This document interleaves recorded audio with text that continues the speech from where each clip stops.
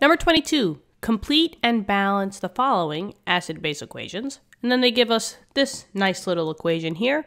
We have BaOH2 is reacting with HF gas. Okie dokie. Now, we first, if you want to, we could first figure out which one is the acid and which one is the base, right? But generally, the one that has the H in the front, right? H is acting, it's just a proton, right? So this would be an acid. HF is an acid. It's not a strong acid. It's not one of the strong acids that you memorize, but still an acid nonetheless. But BaOH2, that is one of your bases that you have to memorize. That's your strong base. One of your strong bases. There are six of them. So just memorize them. These are going to be reacting together. So let's see. We got Ba OH2, and it's reacting with, it's being added to, reacts, add, HF. Now we just got to figure out what the two products are.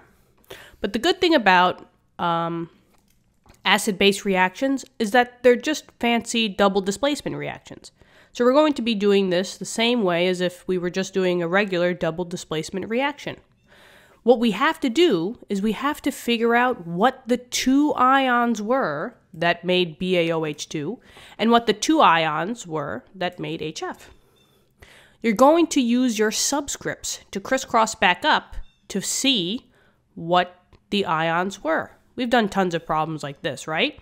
So for BaOH2, barium hydroxide, I have one barium and hydroxide is a polyatomic, so that stays the same, right? So I'm going to use this two. This one crisscrossed up, telling me that hydroxide was a negative one, right? Because the negatives are in the back. And this two crisscrossed told me that barium was a plus two. So these were my two ions. Ba was a 2 plus and hydroxide was a minus 1. You could check these on the periodic table. Barium is in group 2, so it wants to be a plus 2 charge. And this one you can't really check on the periodic table, but this is a polyatomic. This is hydroxide. You should memorize that hydroxide is always a negative 1 charge. Your polyatomics are never going to escape, no matter how hard you want them to. They're always going to be there. Okay, HF. Let's see. H and F. Use those subscripts to crisscross back up. I have one hydrogen and one fluorine. This one told me that the fluorine was a negative one. This one told me that the hydrogen was a plus one. So I have H being a plus one and F being a minus one. And the trend is the same on the periodic table, right? H is in group 1, plus 1. F is in group 17 or 7A, minus 1. So they check out. Now, with all double displacements and acid base reactions, the outers hook up with the outers and the inners hook up with the inners. If you write your ions like this, the outer guys, aka Ba2 plus and F minus, you see how they're the outer ones of these four ions? The outer ones will make a new compound, they will hook up with each other, and then the inner ones will hook up with each other. So outers with outers and inners with inners. Hopefully you see that. It doesn't matter which one you start with. I'll just start with the barium one first. I like to work from left to right. So I'm just going to rewrite it. I got Ba 2 plus, now making a compound with F minus 1. Use these charges to crisscross back down to get your compound. This 2 crisscross down, telling me that fluorine, I need two of them. And this one crisscrosses down, telling me that I need one barium. So I have BaF2 as my compound. So that's my first one. Okay. And then I got to do the second one. Now, don't be tempted to put this one first, right? Remember, negatives are in the back. Positives go first. So I have H plus 1 coming in with OH minus 1. Crisscross them down tells me that I need one hydroxide and one hydrogen.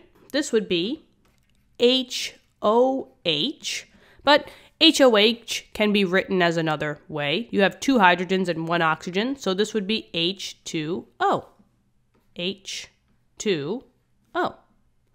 Now we just have to put states on them, right? So I need to find out what the states are for all four of these, whether they're liquid, gas, solid, aqueous. Now, barium hydroxide. Since this is a strong base, strong bases always break up 100%. So that means that they would be aqueous. So I'll write an AQ here. They told us that HF was a gas, so I'm going to put a G. Now we have BAF2. Now, how are we going to know if barium fluoride is solid, liquid, uh, gas, or aqueous? This comes from your solubility rules. Now remember, for halides, and that's group 17 or 7A, your halides are F, Cl, Br, and I.